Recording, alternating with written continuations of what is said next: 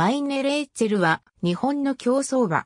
馬名は冠名のマイネドイツ語で謎という意味のレーツェルである。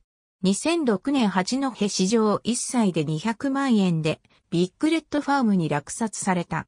ラフィアンターフマンクラブにおける募集価格は800万円。父に似て非常に小柄でありながらタフな馬であった。主な勝ち案はフィリーズレビュー、ローズステークス。2007年7月にデビュー。4コーナー7番手からエームアットビップを差し切り、新馬勝ち。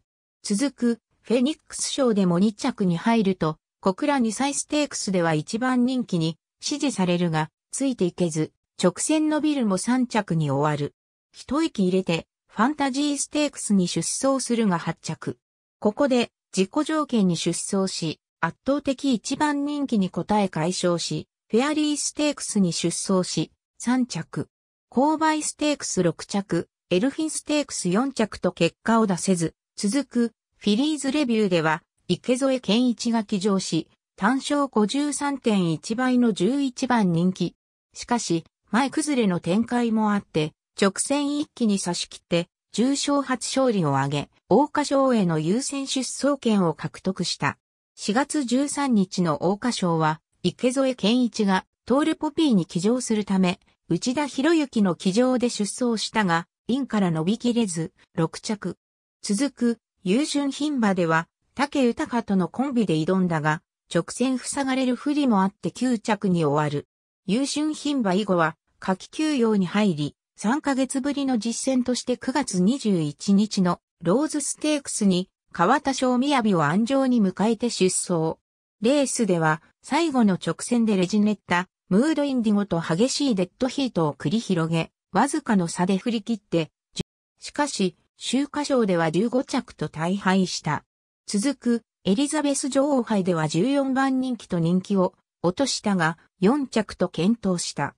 その後、愛知杯に出走。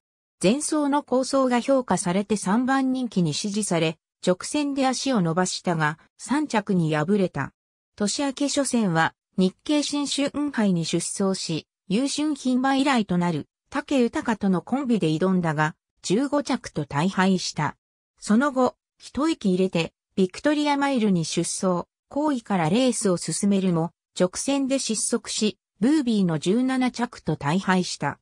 続く、マーメイドステークスでは、先行集団でレースを進めるも、直線で失速して9着に敗れた。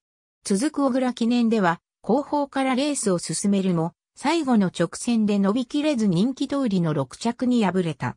続く、新潟記念では、中段でレースを進めるも失速し、ブービーの17着に終わった。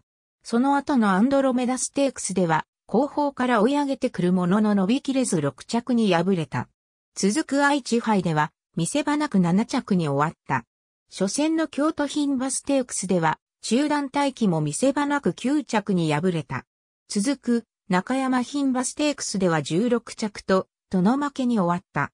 続く、福島牝馬ステークスでは、中段から徐々に進出するも、直線で伸びあぐねて8着に沈んだ。中一周で挑んだ、当時ステークスでは、見せ場なく8着に終わった。マーメイドステークスでは終始後方のまま14着に敗れた。休養を挟んで10月31日のカシオペアステークスでは後方から追い上げてくるものの伸びきれず6着に敗れた。